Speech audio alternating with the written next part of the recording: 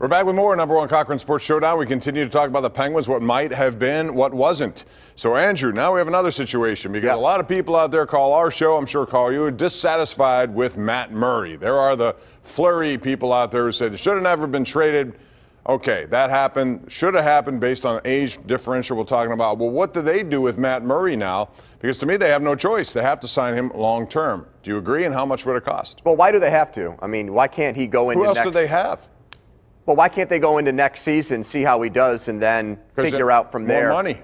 What? What? Wait, what? If he has a great year, more money. Okay. I mean, I'd run that risk with him. I'd, I'd see if he can stay healthy again and see if he can get me out of the first round of the playoffs. Hey, maybe I'm bamboozled because I watched what the Islanders did, but they gave Robin Lehner $1.5 million in free agency, and he's a Vezina finalist. And the guy that played behind him played, what, 40 games in Greiss and was fourth in the league in goals against average and save percentage. So, hey, Matt Murray, I appreciate what he did. It was like a Ken Dryden esque start to his career. But I'm not going to get ahead of myself here and start paying him like he's Marc Andre Fleury or Carey Price and give him six, seven million dollars because, frankly, I don't think he's worth it. I really don't see that scenario unfolding, Andrew. I mean, given Jim Rutherford's respect for Matt Murray and the relationship those guys have, having won two cups, I think they get something done this summer. I How do they make it work from a salary cap standpoint, Jason? If you trade Phil, you're fine. If you trade Olli, you're fine. So They that's can- how your they- team gets better? You just give your goaltender more money? I, I don't think they're going to allow him to play into a contract year after he won two cups for them. I don't. I, it's not really about getting better. It's about what I think they think is smart business. I mean, I, I just I find it Is that smart believe. business or is that loyalty to a guy? Okay, it's probably loyalty more than smart business, but I, I just I don't see But he them had- going. he had let a him good go- year. go into No, but all I contract would say is He show had a me good the. year. I, I agree, and, and I know Josh has a good point on this probably, but show me the teams that are paying their goaltenders big money who are winning Stanley Cups. It's not like you know you feel like you have to give a quarterback big money because you need one to win.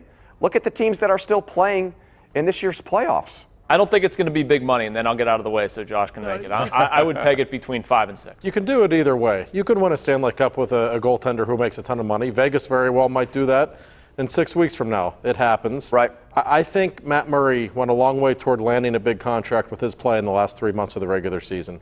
He had great numbers playing behind a team that, let's be honest, uh, was not the 95 Devils defensively. I, I, saw, I talked with Jim Rutherford back in November. I said, What's wrong with your goaltender? He said, Ask me at the end of the regular season. Let's give him a few months to prove himself. I think he did that enough. I would guess between five and six million will be enough. That is a lot of money for a goaltender. They do have a cheap goaltender in Casey DeSmith, however, as the backup. That helps a little bit. They don't have anyone else. Tristan Jarry, if they thought he was any good, he would be playing in the NHL at this level. They, they obviously don't.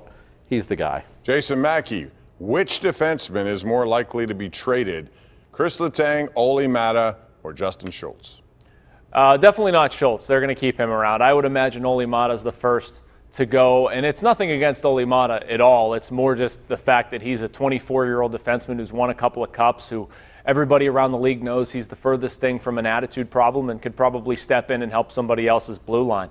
And if they can get Letang right, which is to get him to realize sort of score in situation, and I don't want to say taking a more conservative approach because we all know how that rubbed Letang the other day.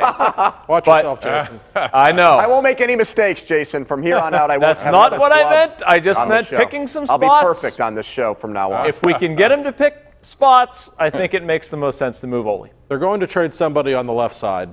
Uh, they are very content with the right side, assuming Letang stays, which I think he will. If you have Letang, Schultz, Gudbranson on the right side, that's really good. So you look at the left side, it's awfully crowded. They love Pettersson, he works cheap. It's not going to be him. They love Dumoulin. So that tells me either Jack Johnson or Olli Maatta is going to be traded. I don't know that they can trade Johnson. That contract, it, I know it's not a ton of money, but four years for Jack Johnson, I don't know that there are any teams out there that would be willing to bite on that. The Penguins would have to retain a lot of money. Olli Maatta is a different story. He's 24 years old. He's won two Stanley Cups. He's very Yeah. highly regarded around the league. You could get something for him. You could clear some money up. I think Maatta is the most likely to go. I, I would trade Letang because I'll go back to what Sullivan said. They played their best hockey in March. They did it with who? Letang out of the lineup. They won a Stanley Cup without him two years ago. If they're going to get to playing the right way, I think they need to get rid of a guy who has a pen- penchant for making reckless plays in precarious situations. So, very talented player, one of the best defensemen in team history, but I think it makes the most sense to move him. But I wouldn't trade him just for the sake of trading him. I will say that. If you can get a big return for Chris Letang, this may be the time to think about it. He's had two bad playoffs in a row. I don't think he's ever going to change his game. Me neither. So th- that's an issue, yes, but I wouldn't just get rid of him for the heck of it. I think he's too good for that. Plus, you may have to retain salary there, too. That's a big, they're all big contracts. That's a dilemma for a GM for sure. All right, now it's time to go round the horn for this week's Smooth Moves brought to you by Armina Stone. Pittsburgh's largest supplier of the smoothest granite, marble, and quartz countertops you will find. That's Armina Stone. So, Andrew, your smooth move of the week is? Bob, this is a smooth move first. This is going to be a shout out to my in laws. I'm going to suck up to them right now. You want to talk about a trade? Ham out, prime rib in for Easter. It was like Ricardo Rincon for Brian Giles, Rob Scuderi for Trevor Daley, all over again. One of the biggest trades in Pittsburgh history on the dinner table today, boys. Wow, that's really good. I'm jealous now because I ate ham today and I don't really like it that much. So I think think your in-laws are really onto something. I'm going to go with Cole Tucker and everything about his first day. He hits a home run right after lightning strikes. He's unbelievably charismatic and likable. The biggest problem with the Pirates, other than their cheapness, is the fact that they're dull, they're boring. There's nothing interesting there. He made me want to watch again today. I love the change up from the uh, Easter staple of ham, Andrew. I'm right with you. My Yes. uh, my mother-in-law does Mission Street kibasi. It's excellent.